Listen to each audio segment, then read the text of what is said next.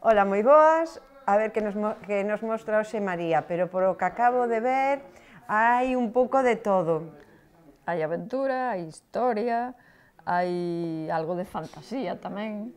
Mira, a tumba de Berogán. A tumba de Breogán, vamos a ver, Pero... de, do fogar de Breogán, do Breogán... Eh, ahora, ahora, ahora che conto. Eh, primeiro diremos que é un libro en banda deseñada. Ah, sí, eso é. Un libro historia un... banda deseñada. Gracias. Bueno, pois pues, ali alrededor do 1870, eh, facendo unhas reformas na Torre de Hércules, aparecen unhas tabliñas de madeira que fan referencia a algo relacionado con Breogán, uh -huh. co Breogán Castrexo. Castrexo.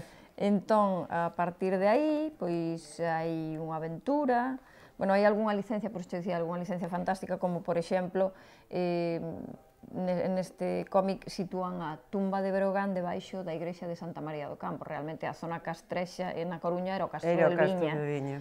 Non, pero bueno, eso, hai algo de licencia Bueno, pero podemos verse un pouco, podemos verse un pouco para, facer, para, para, eso, para... facer o enterramento, non? Justo. Non ten que ser xusto xusto onde estaba o Castro. Bueno, a cuestión é que aquí, alrededor desas tabliñas, aparecen, pues, bueno, un, dos personaxes fundamentais son Eduardo Pondal, e máis un bandoleiro.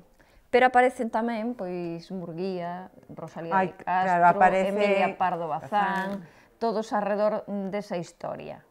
A verdade é que a mí me pareceu moi interesante. Moi interesante, sí, sí, sí que sí. si situar a todos estos persoeiros eh, uh -huh. históricos dun momento determinado e eh, relacionalos co principios da nosa mm, comunidade, da, da nosa, iba a decir sí, da nosa patria, algún eh, que outro vanme decir bueno. por, don, por donde por donde vas, non? Pero no inicio de todo, e ainda encima con un bandoleiro e pois con sí. misterio, que queres que che diga, que, é banda diseñada, aí, sí, é banda sí. diseñada para pasar un bon rato eu, lendo isto que digo, a eh, min resultoume moi entretido. Pois creo que a min tamén me vai a ser. E a pesar de que teña algo de fantasía sempre Pero a fantasía sempre sempre eh? axuda, sempre sempre algo bon.